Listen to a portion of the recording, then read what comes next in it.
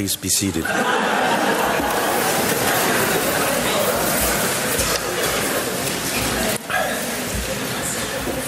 We should probably prepare ourselves.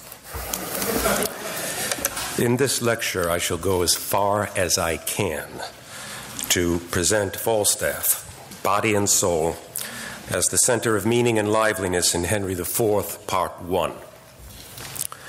No doubt some will think I go too far in my enthusiasms, not respecting boundaries, legalities, moralities, practicalities, and even the words of God and His saints.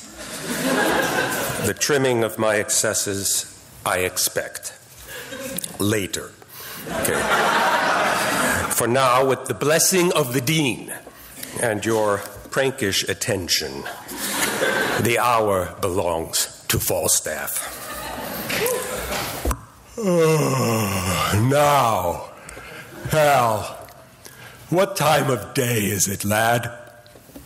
With these words, an old fat man invokes his first presence on stage, accompanied by his lad, named Hal, who happens to be Prince of Wales, heir to the crown. Only to this man, not even to his father, is he affectionately known almost always as Hal, his boy, his lad. The power to name given by God to Adam for his recognition of the essences of creatures is the power to summon them into presence for play or rule. As expected from first words, this question opens up the characters and the plot. Hal immediately replies, What a devil hast thou to do with the time of the day? After all, his self summoning time is simply now. Whether it's napping at noon or carousing to the chimes of midnight hardly matters. But never is it the now of paying back a debt or keeping a promise made to expiring nobility. Never the now of chivalric contests and courtesies defunct. And never the nows that creep coldly into oblivion to make room for the next blood sucking generation of warm bodies. The old fat man does, notwithstanding, inquire about the future. Sweet wag, shall there be gallows standing in England when thou art king? But his purpose here is to know when the now will operate in the kingdom as it does in him, as a time of freedom from reckoning of debts, laws, punishments, and sins. He exits this scene of unspecified time and location to return to the Boar's Head Tavern in Eastcheap, his garden of pleasures, to the cry of Hal's, Farewell, the latter spring! Farewell, all Halloween summer!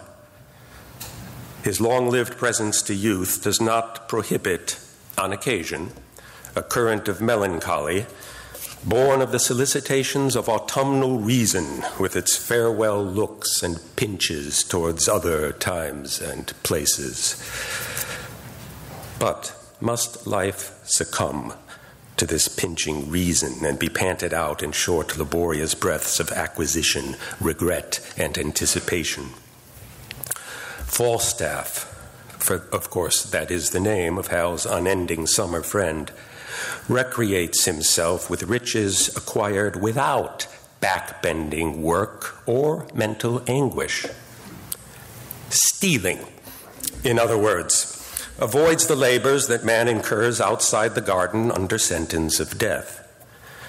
The fatness of this thief is utterly shameless because his globular shape betokens the promised land, pregnant with wet and sweet to spectators stealing time from their hard labors to fill themselves up at the tavern and the theater, just as Joseph that shameless dreamer, able, like this man, to brook all things, preserves the suffering house of Abraham by storing up of grain in the flesh pots of Egypt, the laws thereof at his commandment.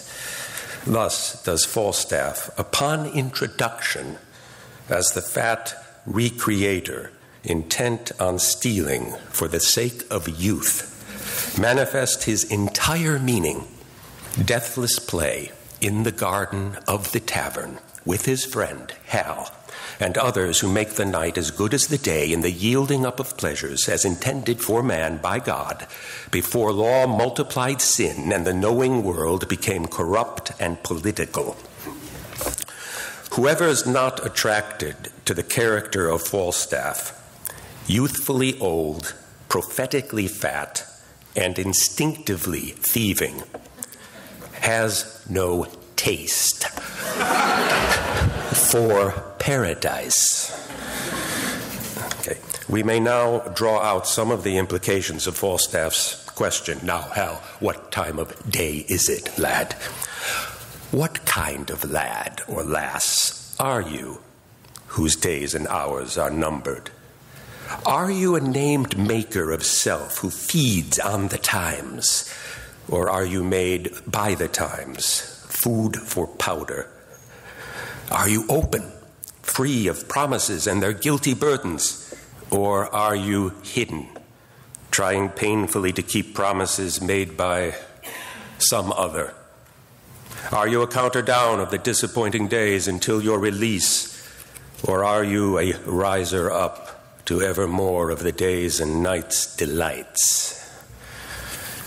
These are the questions of the play for us tonight. The name Falstaff derives from his double essence. He's staffed upright on two legs, but he's extended laterally by a big belly, signifying that the usual separation of rising and reclining, labor and rest, day and night, youth and age, fertility and barrenness, subdivided tediously into hours, minutes, and seconds until nothing is left, apply not at all to his person. That is why the scenes in which he appears always last longer than the historical dramaturgy warrants. The tavern scene of Act Two, the second longest in all of Shakespeare, gives us the feeling that were it not for doors registering the knockings of sheriffs, merchants, and politicians seeking to prosecute, trade, and enlist, the plays and pleasures of that tavern would not have to stop. The fat of Falstaff orients him towards the horizon, where his breadth of character contrasts favorably with the vertical orientation of lean minded, ambitious men who populate Shakespeare's history plays. His fatness they incessantly ridicule, which merely arouses his potency, like caresses, and they know it. Words that issue from the top end of his bowels, the mouth, come from deep grounding within the concocting kitchen of his guts. And that is how the Promethean fire catches and spreads as the great and awful comedy of human life, in opposition to the death lovers. Warriors in the heat of battle are also present in the now. Any reckoning of interest outside the present focus opens a gap for death to enter and steal away young life. This happens to Hotspur. At the instigation of Falstaff, who turns our heads away from the climactic sword fight between the two Harrys by occupying, alive and dead, their field of glory. Falstaff is the reason that Hal is able to rob Hotspur of his youth and honor, which Hal shares with him after his rising from the dead and claiming the body as his own prize. These four actions Falstaff's entrance to the fight, his falling down as if dead, his rising up from the ground, and his bearing off of the body of dead Hotspur on his back manifest the mysteries and meanings of the play as I intend now to show you. Let's hasten to the Battle of the Harrys at Shrewsbury, where these four actions occur. In the rhythm of the first four scenes of Act 5, a proposition is under contest. The breath of life does not have to be drawn short and thin. We feel the beats of that rhythm in the entrances and exits of Hotspur and Falstaff, whose motions are the moving joints of a demonstration of that proposition's truth. Scene one opens with 117 lines of last minute negotiations between King Henry IV and the rebels. I'm about to recite the king's attempt to conclude the scene with a general exit. That's what royalty like to do, to make everyone come and go according to their naming and timing. Hence, therefore, every leader to his charge, for on their answer will we set on them and God befriend us as our cause is just. Not once in three plays does Bolingbroke, Henry IV, utter a moving battle speech, though he's always at war. Uh, now listen to Falstaff take over from this king who lacks inspiration on that cue of divine friendship, which he brings down to earth to set Hal on to the work of human friendship with no invocations of justice. Uh, Hal, if thou see me down in the battle and bestride me, so, tis a point of friendship. Nothing but a colossus could do thee that friendship. Say thy prayers and farewell. I would it were bedtime, Hal, and all well. Why? Thou owest God a death. Tis not due yet. I would be loath to pay him before his day. What need I be so forward with him who calls not on me? Well, tis no matter. Honor pricks me on. Yea, but how if honor prick me off when I come on? How then? Can honor set a leg?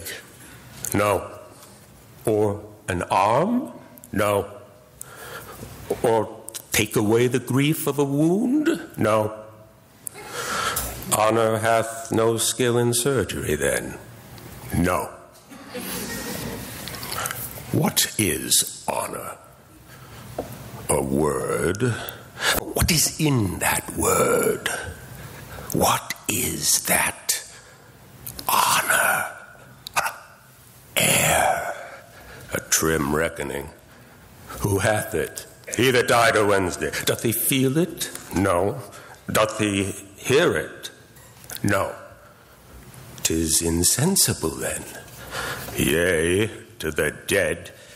But will it not live with the living? No. Why? Detraction will not suffer it. But therefore, I'll none of it. Honor is a mere scutcheon, and so ends my catechism. This speech is a rhetorical masterpiece.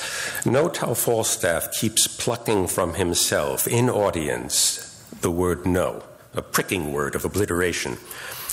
The disgrace of the no's I leave for others to overcome in the yeas of their virtue, but let me affirm that the speech is true to the action of history that we've been witnessing since Richard II threw his warder down, marking an end of chivalry. Even the Chief Justice, Falstaff's enemy, will do Falstaff honor because of the report that he fought Hotspur at Shrewsbury, and Falstaff's honor is of necessity Hotspur's dishonor. Remember also this the sources of feeling in a speech of negation, if unchecked, may lead to the nothingness of tragic despair, as in King Lear.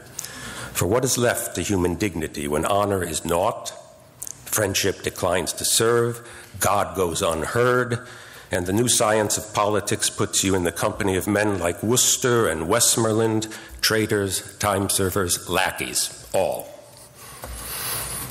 Well, there is one thing left the tavern and its answer, anon, anon, to the call of desire, all the humors of time present to entertain and edify. Falstaff's devastating speech of negation, stolen from the arsenal of tragedy, serves the purpose of comedy. To affirm the goodness of life, even in a base modern world in which surgery saves rotten bodies and slander plus gunpowder equate all persons. Now, in scene two, it's Hotspur's turn to make clear to the audience what he will have none of mincing poetry. Tis like the forced gait of a shuffling nag. Hotspur stands by the courtesies of chivalry, to which he commends his soldiers briefly, not possessing, as he says, the gift of tongue can lift your blood up with persuasion. At this precise moment of verbal and visceral self denial, a messenger enters to deliver Hotspur a letter. He drives off the messenger and delivers his warrior's creed. I cannot read them now. Oh, gentlemen, the time of life is short.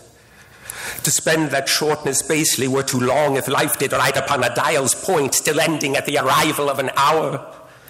And if we live, we live to tread on kings. If die, brave death when princes die with us. Now, Esperance, Percy, and set on. Sound all the lofty instruments of war. And by that music, let us all embrace, for heaven to earth, some of us never shall a second time do such a courtesy. The author and content of the dismissed letter remain unknown, like what might have been. We do know, however, that at this moment of extreme peril, Hotspur is deceived.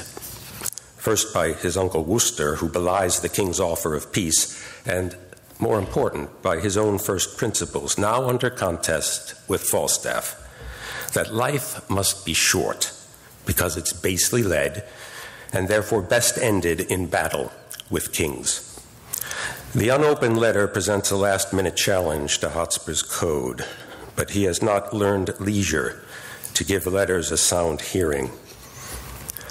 But most important is this dramaturgical fact. We're more impressed by Falstaff's catechism to bury honor because it's a better and truer speech than Hotspur's. Honor is going to stay buried until Henry V makes use of the gift of tongue to inspire his soldiers at Agincourt to seek a fellowship in blood that will story time until the ending of the world. He learned the rhetorical tricks of raising up the blood to do miraculous things from letters. And the fat man, who makes letters dance from his tongue like light. In scene three, the battle begins. Falstaff is summoned to military presence twice by Hotspur's words, as dramaturgically they continue to contest the proposition concerning life. He first appears when the rebels are winning. Douglas is killing the counterfeit kings one by one. He and Hotspur exit in confidence to Hotspur's words Up and away! Our soldiers stand full fairly for the day. On this cue, Falstaff enters to stand full fairly in Hotspur's vacated place and to point demonstratively, like someone at the blackboard, to the dead Sir Walter Blunt. There's honor for you. Here's no vanity. Now, if you find this disrespectful of the brave dead, he's quick to point out that modern war uses lead shot from pistols and cannons, saying, I need no more weight than mine own bowels, as if he were a defender of heroic chivalry. A desperate prince objects to his idleness, but not to his critique of modern killing. What? Standst thou idle here? Lend me thy sword. Three times the prince demands Falstaff's sword. He offers him his pistol in its case, the sword being reserved, he claims, for Hotspur, on whose dead body he will indeed use it. Hal accepts the case, but finds inside not a pistol, but a bottle of sack. A joke to those who get it on what war has become.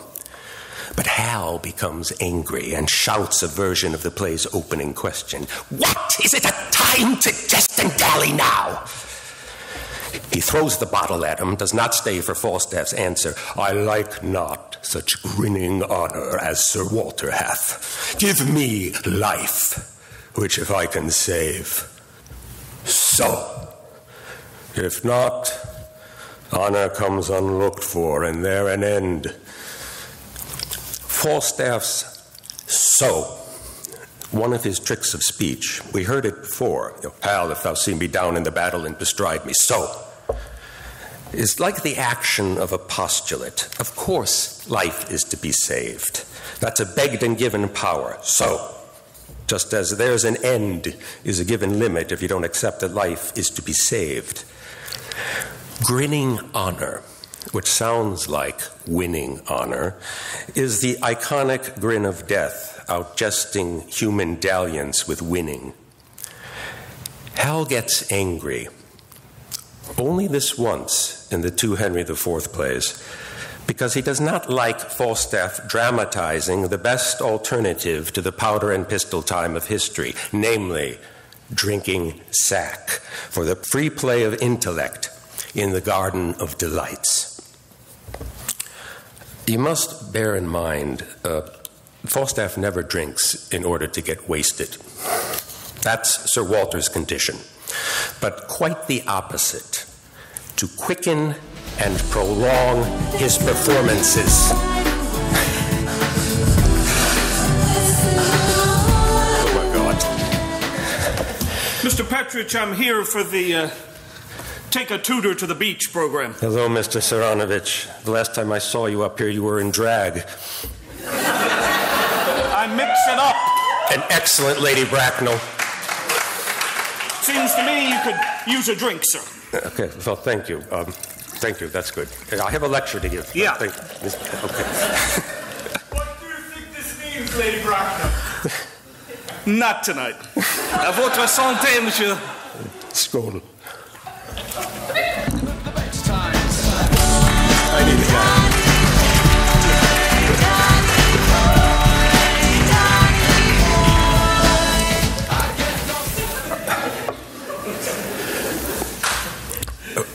Well, where were we? Um, somewhere in scene four, the prince finds his sword, which he uses to save his father from Douglas.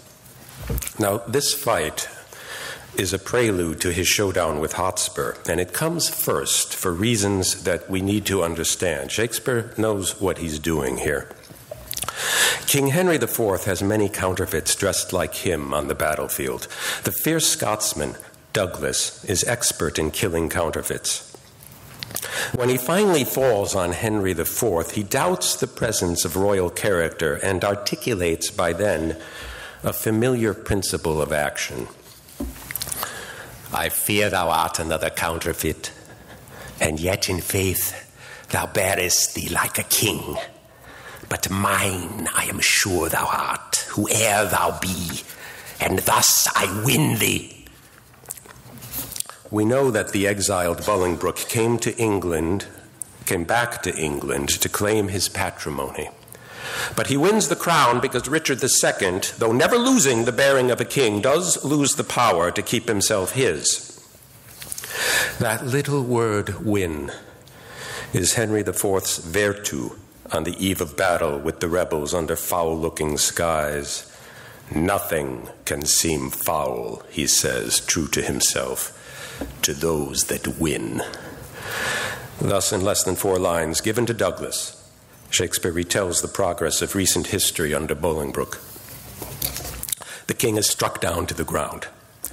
This action cues the entrance of the prince, who arrests Douglas as he stands over the prostrate king, about to strike him mortally. Hold up thy head, vile Scot, or thou art like never to hold it up again. The spirits of valiant Shirley Stafford Blunt are in my arms. It is the Prince of Wales that threatens thee, who never promiseth, but he means to pay. The prince, by means of the spirits of the dead in him, turns Douglas's head away from his prize by promising a worthily named fight. The rebels could have won it all right there without that turn. The prince thus takes the side of nobility to save his father and his ignoble principle that foulness does not apply so long as you win. Now, the prince redeems his lost opinion right here And his father pronounces that redemption right away. So the prince's fight with Hotspur, 16 lines later, is not about redeeming himself. That's already been done. This is important to realize, along with the curious stage direction that Douglas, who's no coward, flees. Now, the fact is, Shakespeare needs Douglas, the counterfeit killer, to remain alive to fight Falstaff, the lying counterfeit, hence the real thing. Now, let's put these two points together. The fight between the prince and Hotspur proceeds on another plane, according to Falstaffian principles of redemption, timeliness, and life saving. Not Henry IV principles, not chivalric principles. Although, as we'll see, the outcome of that fight does similarly depend on the influence of the dead, the turning of the head, and authority over naming. So here's how the fight starts. The prince, about to exit the stage, is arrested by a voice relished for its exuberant, guileless urgency to cross danger for honor's sake. If I mistake not, thou art Harry Monmouth. Thou speakst as if I would deny my name.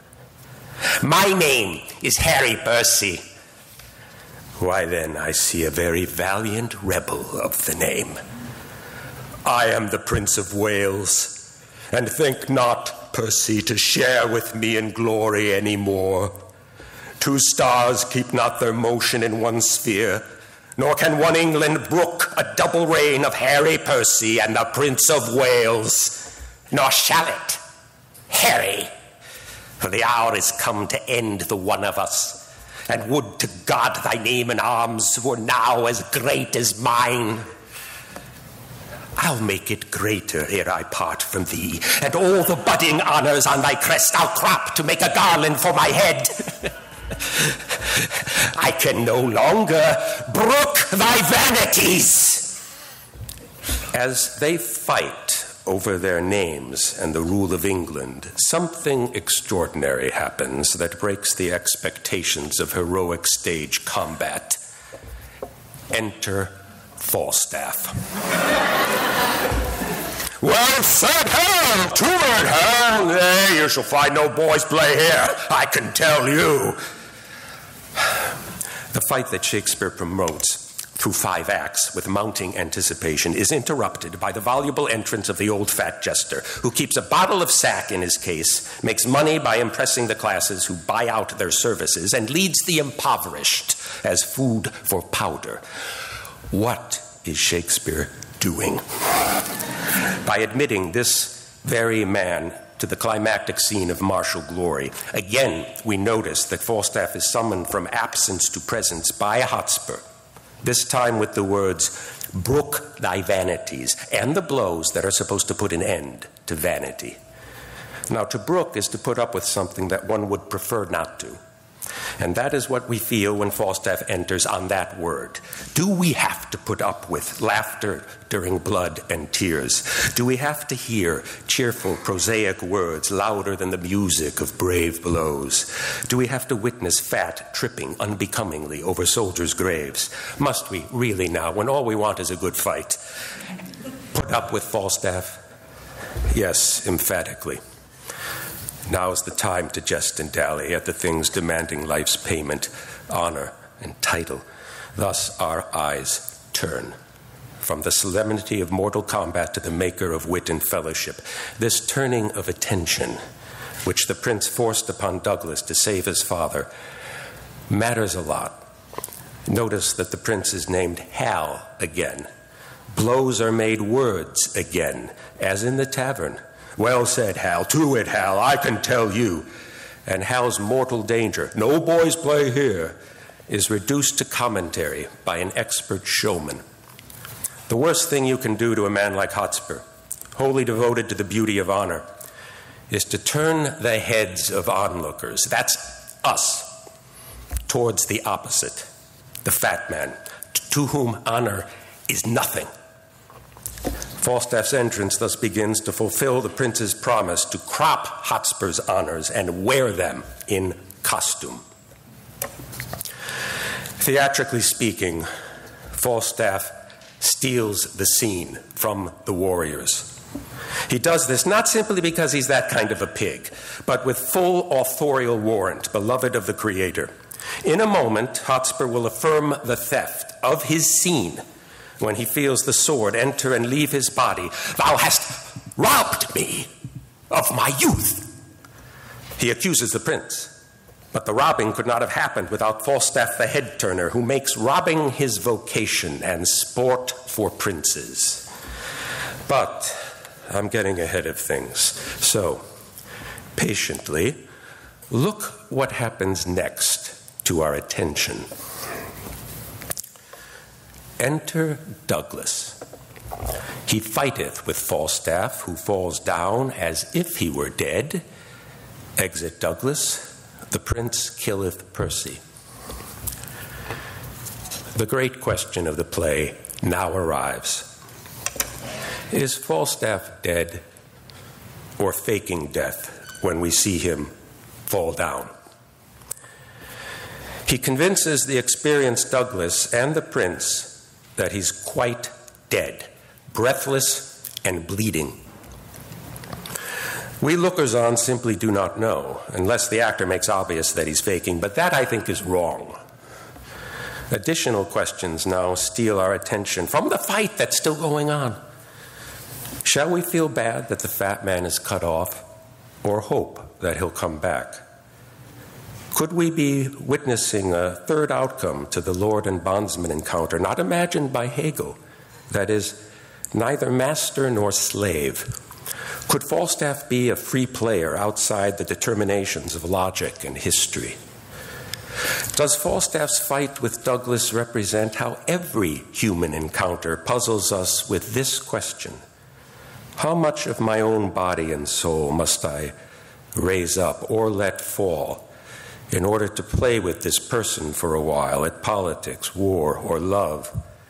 Is this or that person who faces me alive or dead, and to what extent?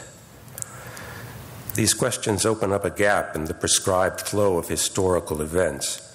There's room in that gap for surprises. Our attention, stolen again from the combatants, goes towards the belly that now lies in profile on stage, a rotund symbol of all the world. Falstaff is down, looking dead. His belly still rises, the fight's going on. Let's get some help at this point from the tavern scene that I mentioned earlier to determine that belly's powers as guardian.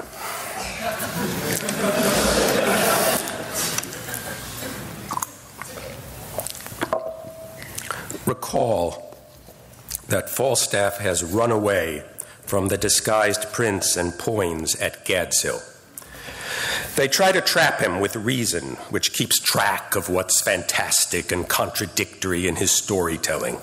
When they think they've got him to confess that he ran away from cowardice, he escapes the trap of reason by uttering this meta theatrical profundity By the Lord, I knew ye as well as he that made ye. Hal's maker, after God and Bolingbroke, is Shakespeare via the Chronicles. Falstaff is almost entirely Shakespeare's invention, and as such, he offers freedom from the compulsory history of the Chronicles. His name is elaborated more times than any other name in Shakespeare by people who think they know him and how to peg him. But the questions of who he is and what will become of him are the ones most freely alive in the English history plays, and they put us in close touch with the Maker and with our own cause of freedom and self making. Listen now to some of the attempted naming of Falstaff in that tavern scene, with Hal impersonating his biological father, Henry IV, and Falstaff playing Hal. There is a devil haunts thee in the likeness of an old fat man. Why dost thou converse with that trunk of humours, that bolting hutch of beastliness, that swollen parcel of dropsies, that huge bombard of sack, that stuffed cloak bag of guts, that roasted Manningtree ox with the pudding in his belly, that reverend vice, that grey iniquity, that father ruffian, that vanity in years.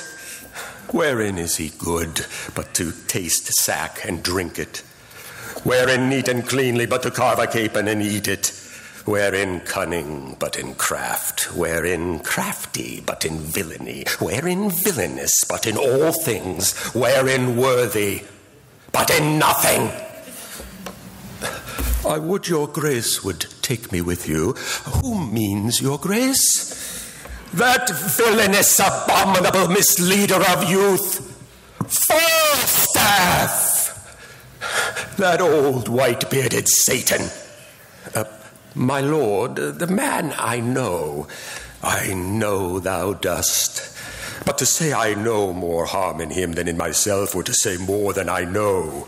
Uh, that he is old, the more the pity his white hairs do witness it. If sack and sugar be a fault, God help the wicked. If to be old and merry be a sin, then many an old host that I know is damned. If to be fat be to be hated, then Pharaoh's lean kine are to be loved. No, my good lord, banish Peto, banish Bardolph, banish Poins. But for sweet Jack Falstaff, kind Jack Falstaff, true Jack Falstaff, valiant Jack Falstaff, and therefore more valiant, being as he is old Jack Falstaff, banish not him thy Harry's company.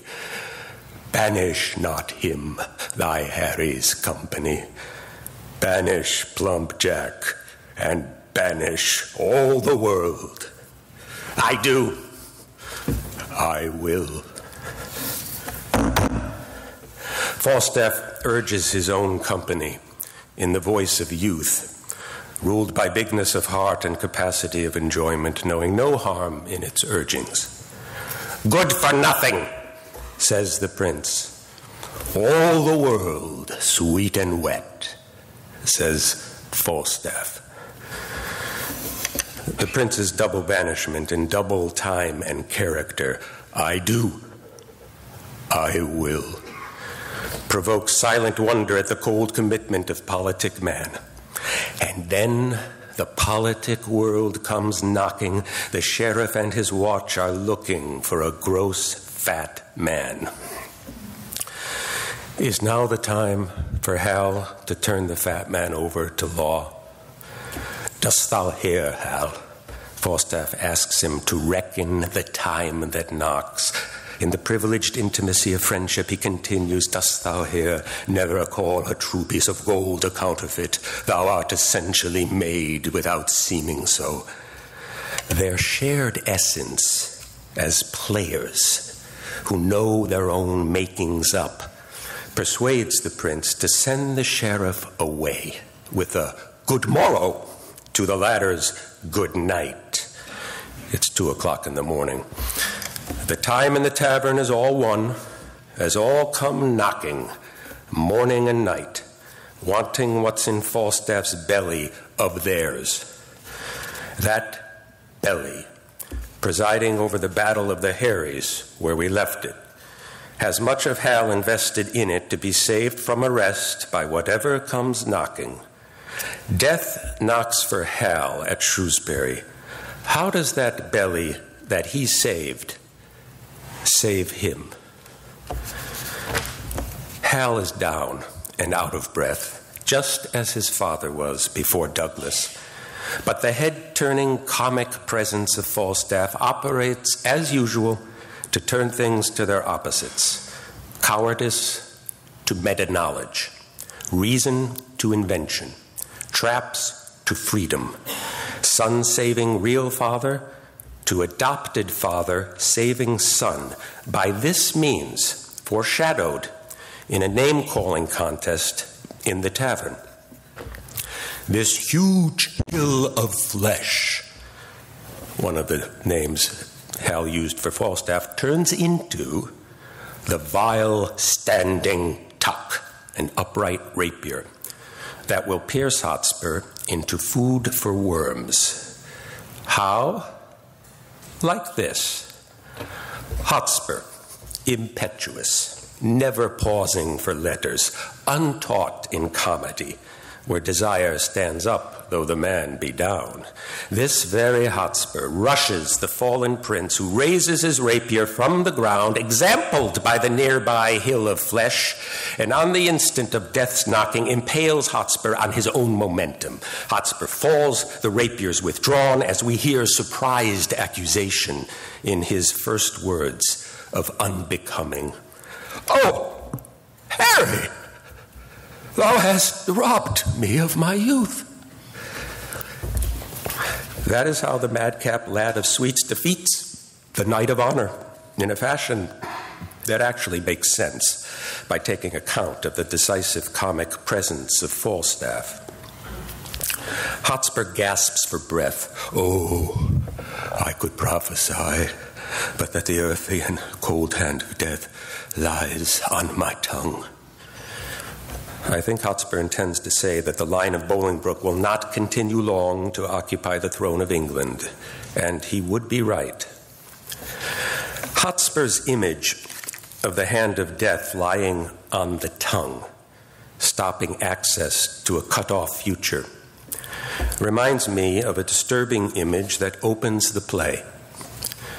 The Welsh women serving as the rude hands of Owen Glendower performed a beastly, shameful transformation upon the thousand butchered soldiers of Mortimer, as may not be without shame retold or spoken of. Well, I'm going to speak of it. It's clear from Shakespeare's source and the tone and reactions to this speech that the dead soldiers were castrated their genitals put inside their mouths on their silent tongues by the women. Think about that. What does it mean? The tongue cannot, by speaking, provide for its own continuity in life. Words alone are not potent of life. The tongue must not be cut off from the body's business of generating life, nor should the lower body be cut off from the tongue's business of transforming low into high. Henry IV acts as if a man could issue seed from his mouth, for he thinks that he can become the legitimate king and father of kings in an act of speech without the help of blood. He's wrong. Henry V will think that the French and English, two different tongues, can be united as one through an act of blood with no common speech. He's wrong. Henry VI, last of the line to reign, lacks powers both of speech and blood, and so he loses France and the throne of England. By contrast, as we're about to witness, Falstaff, after being cut off, riseth up in blood and speech, the true and perfect image of life indeed. He stabs Hotspur in the thigh, gives rise to him on his back, impregnated with Hotspur's honors in reports to come. This proves that honor, unlike life, is generated by the tongue of the double man who mouths his own rising to posterity. The oral genital imagery that opens the play thus closes it as well. In between, while we're on the subject, remember how Kate, Hotspur's adoring and spirited wife,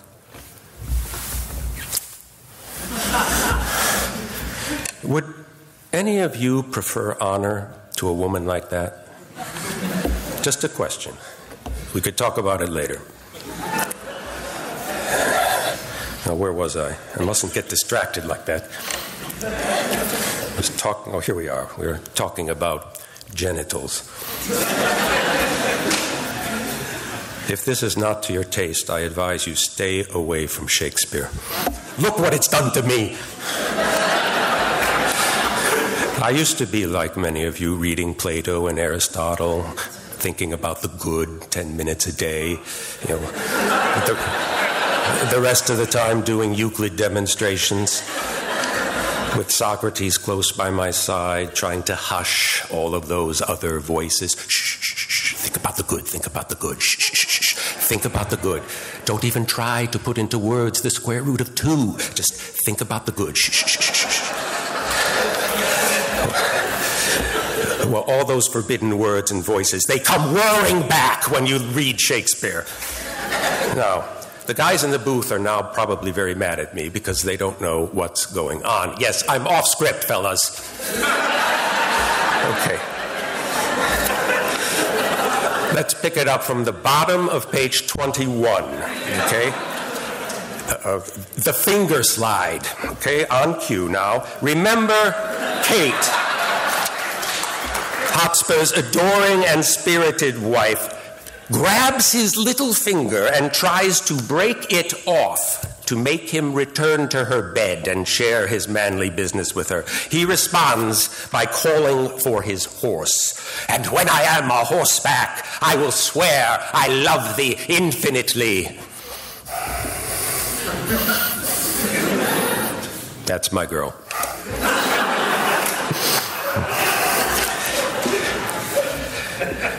After the battle, I can't resist saying this. Um, we see Hotspur on horseback.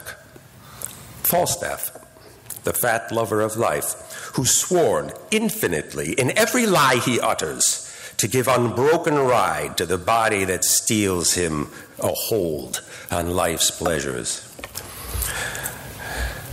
Hotspur articulates his passing as a stoppage of time in its survey of all the world, so little of which he got to see. Ironically, he uses Falstaff's words, banish plump Jack and banish all the world. So as we hear Hotspur speak these dying words, we turn our heads again to the great belly of desire, still seeming dead on stage, but from its prominence we feel less sad over Hotspur as the prince covers his mangled face. Dying courtesy mingles thus strangely with the stronger will to comedy. Falstaff listens, as always, for his cue to return to presence. What? Old acquaintance? Could not all this flesh keep in a little life? Poor Jack, farewell. I could have better spared a better man. Oh, I should have a heavy miss of thee if I were much in love with vanity. Death hath not struck so fat a deer today, though many dearer in this bloody fray. Embowelled will I see thee by and by. Till then, in blood, by noble Percy, lie. Embowelled? If thou embowel me today, I'll give you leave to powder me and eat me too tomorrow. So blood it was time to counterfeit. Counterfeit? I lie. I am no counterfeit.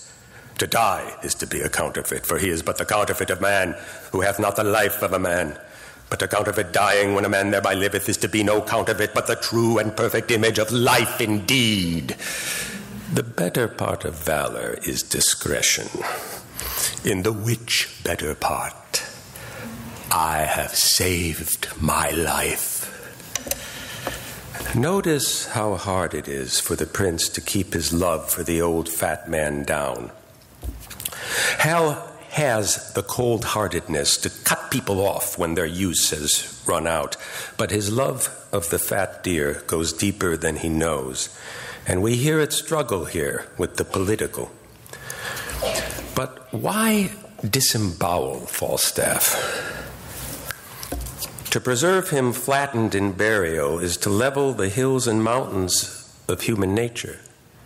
In other words, to suppress the rebelliousness of comedy, of disrupting desire, for the sake of a smooth running, unified politics of Christian empire. The prince will brook no double reign in England, as we heard him say to Hotspur, nor on the continent, as he will say later, no king of England, if not king of France.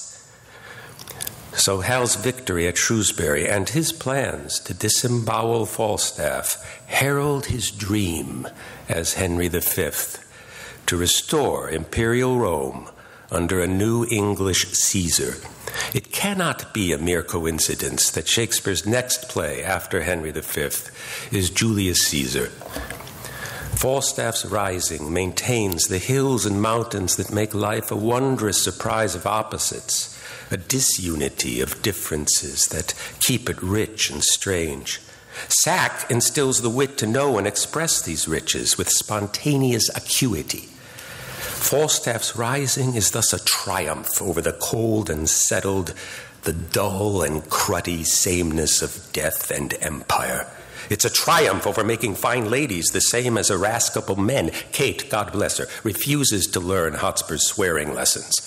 It's a triumph over spirited ambition that fits, shrunk by death, into a vile hole of earth. The honor loving Hotspur, about to descend that hole, professes to better brook the loss of brittle life than those proud titles lost in conquest. Again, this word brook directs our attention to Falstaff, who was summoned by that word, and whose life, opposite brittle, brooks anything, including death, which he plays to perfection. The stage direction, Falstaff riseth up, perhaps the greatest in dramatic literature, is a paradox and a pun with biblical, sexual, and historical resonances.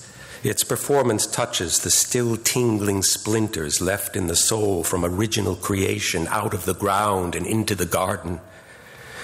There's something counterfeit in a soul that does not feel risen with Falstaff to mate the savory stuff of earth with the articulate spirit of air. Thus of him may it truly be said, He doth raise up himself whom he himself hath filled, and death he swallows up in victory. Thank you, Augustine, for that one.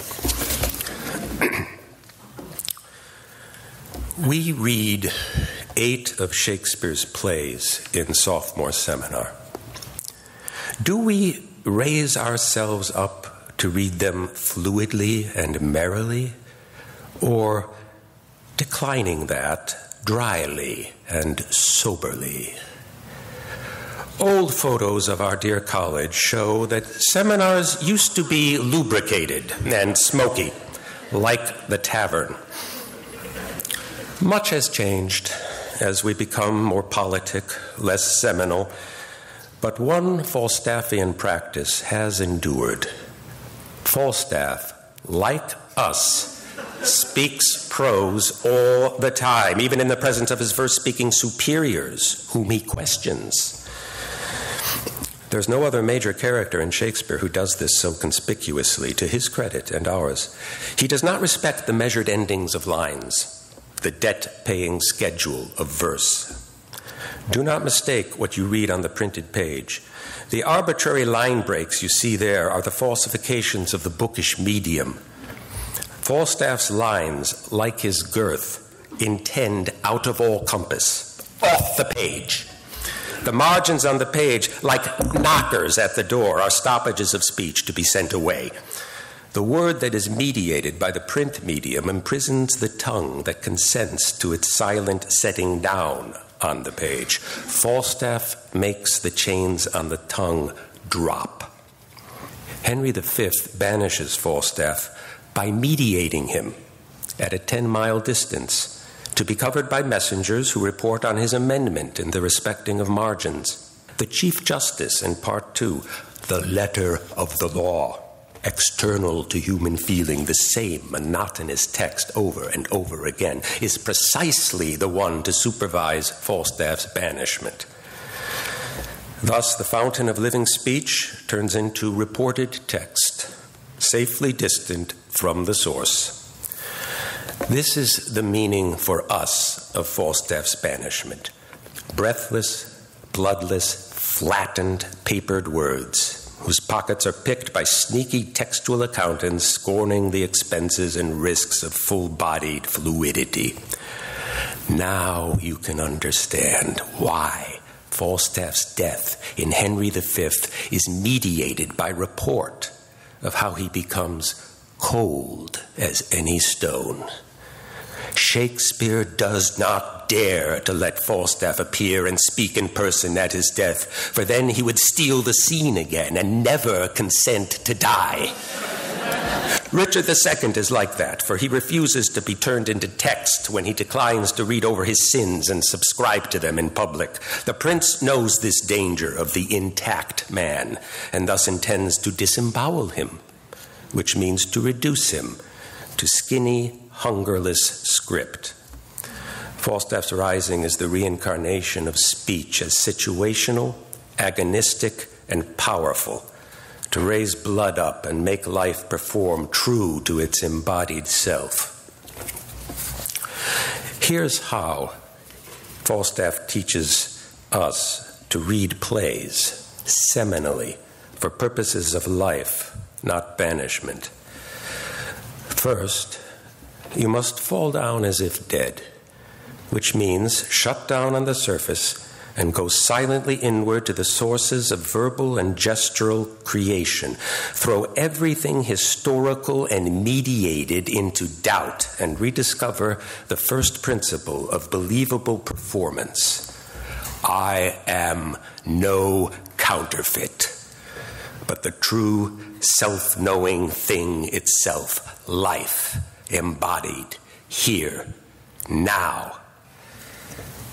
The activities of reading and writing require this temporary absence from the world in imitation of death in order to overhear its violent sounds and agonized confessions, unsure of the side of victory but longing for it. Sometimes even crying out for the Maker to warm the feet back to the standing of life.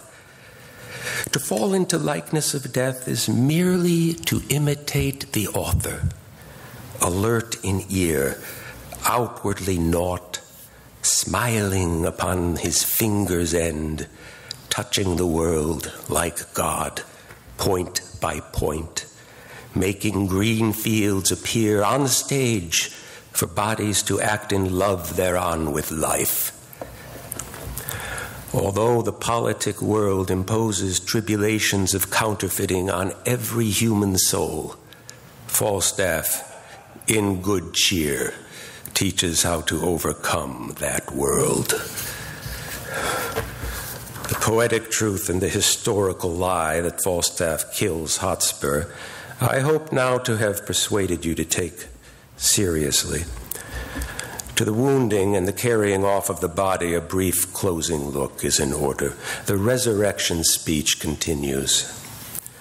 Zoons, I'm afraid of that gunpowder, Percy. Though he be dead, how if he should counterfeit too and rise? By my faith, I'm afraid he would prove the better counterfeit. Therefore, I'll make him sure. Yea, and I'll swear I killed him. Nothing confutes me but eyes, and nobody sees me. Therefore, Sirrah, with a new wound in your thigh, come you along with me. We witness here how myths and religions get going. Imagine for a moment that after Achilles kills Hector, he leaves the body for Thersites to desecrate, haul away on his back, and misreport as his own conquest. That's the kind of action Shakespeare is giving us here. It's offensive to witness this treatment if we still carry shining Homeric heroes in our heads. Apropos of that, after the Henriad, Shakespeare wrote the modern, that is to say, the true version of the Trojan War. In it, Achilles is fat and out of breath. Because that is what happens when you stop exercising and keep eating. And Thersites is the wit who persuades Achilles with much malicious delight that to fight for a cuckold like Menelaus, ee, or the adulterer Paris, is no honor. But to my point, gunpowder Percy properly belongs to Falstaff. On his back. The horses of chivalry are no more. The embracing of knights has yielded to the arguments of vile politicians, as Hotspur himself laments. And besides, honor always rides the backs of the living, who lay the world full of rising lies to give standing and estimation to dust. What good news does Falstaff rise up from the dust to announce? I shall speak for him one last time, and there an end. Be confident to play the coward to save a life too goodly rare to spare. There are plenty of lives less good in their own estimation, counterfeit kings and queens, ready to make brave sacrifice for those who know themselves to be the real things. Let them do what makes them grin. Take the offer of sweet and wet, outstretch the margins in merriment. Let the reputation of corruption and villainy serve as a breeze to better your countenance and quicken your wit to weigh the value of things. Listen for the cue to raise the belly to its standing mouth, there to perform the miracle of transforming guts into speech. Hoist on your back or front the beauties of a lost world and use them shamelessly to make modern life less ugly. If you've got it, flaunt it, baby, flaunt it. Anon, anon come the props to serve all turns. The stage is set. The time to make answer, whom to love, whom to banish, is now. A matter worth listening to is not derived from the compulsions of reason that would pin you to the wall. Stand there amazed at the fatness of this unreasonable matter. Staff yourselves on legs, warmed foot to thigh by touch, with eyes burning like fire to do it again after falling to bed or earth, rising up to flames of laughter. Halt not for halters. You will find that all this that I've been saying, and he could go on all night, it takes some discretion. Paradise is true, and don't I know it? But it's not for everyone. Oh no, it's not for everyone, as it is for him. Elevated and big as the horizon, drinking it all up. Life. Oh, bother the mending. His face turns, but not to crack. Thank you.